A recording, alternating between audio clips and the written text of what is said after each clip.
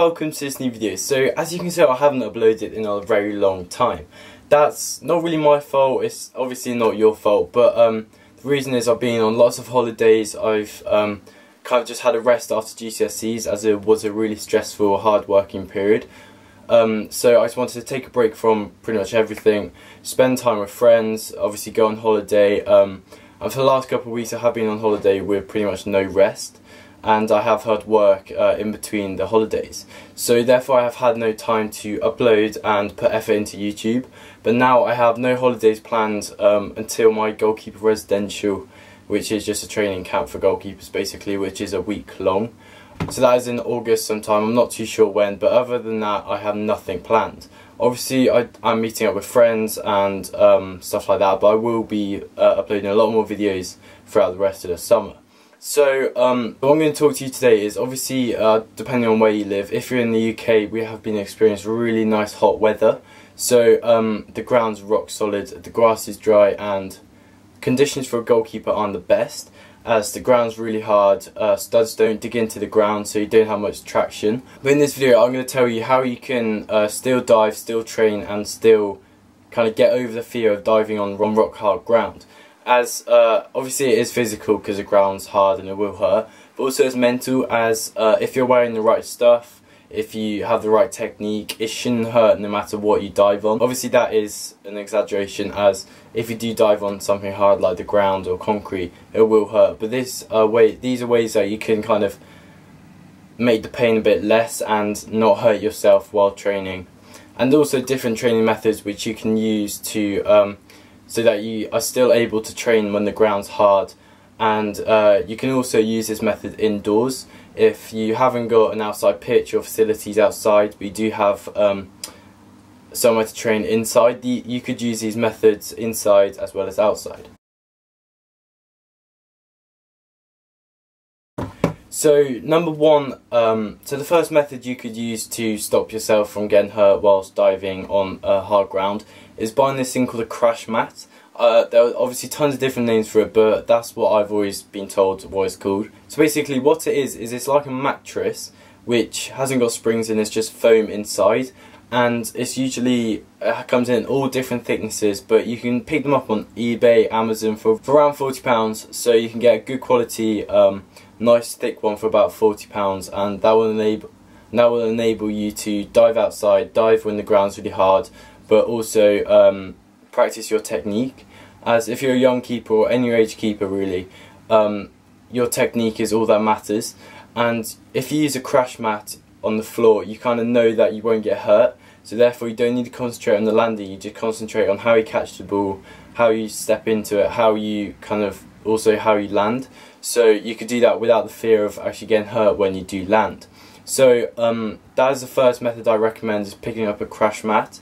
Um, when I did this training session ages ago, a couple summers back, um, the coach obviously recognised that the ground was really hard and didn't want me getting injured by diving on a, a hard ground. So what he did is he bought um, this crash mat which he put on the floor and then he just threw the ball, kicked the ball, whatever and instead of diving on the floor I dived onto that so it made it a lot easier to concentrate getting your hands behind the ball, body behind the ball, getting a nice good leap and good reactions without the fear and the mental barrier of not wanting to dive on the hard floor as you know you're not going to get hurt as you're landing on a nice thick mat.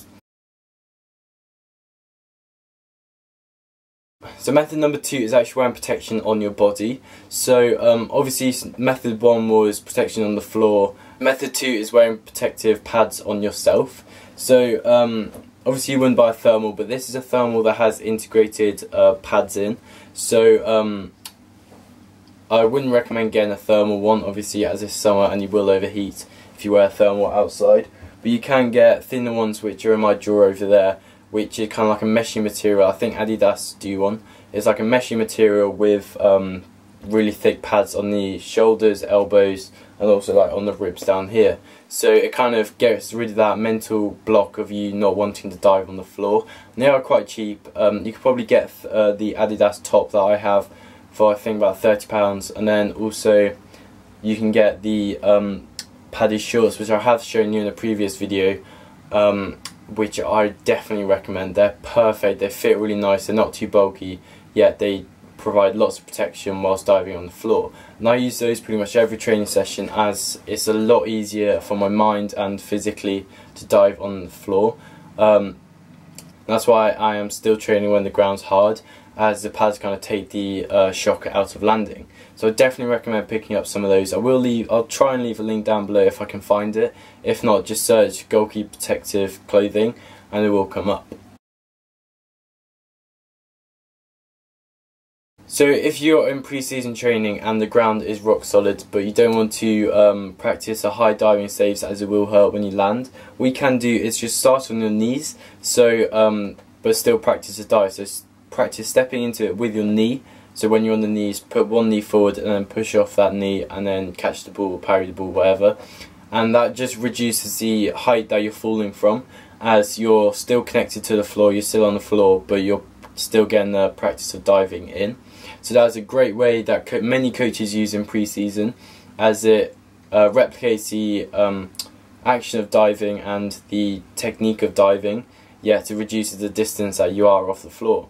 So I definitely recommend that one and you can do that on your own. If you have a crazy catch like I do as you've seen in the videos, you can start on your knees, throw off that and then catch it. So you can use it if you're doing solo training or if you're doing team training with your coach or a friend. Uh, you can just start on your knees and dive like that. So in conclusion, I definitely recommend the um, padded clothing which you can buy off pretty much every goalkeeper website. I'll try and link some down below. And also the um, pre-season training where you start on the knees and dive like that. As you're still practicing technique, yet it doesn't hurt as much when you land as you aren't diving that high. So uh, let me know what you guys do to um, in pre-season training. I know I haven't actually started goalkeeper training yet. I'm just doing fitness training and ball work just to get back into the rhythm of football as uh, that's what most clubs are doing.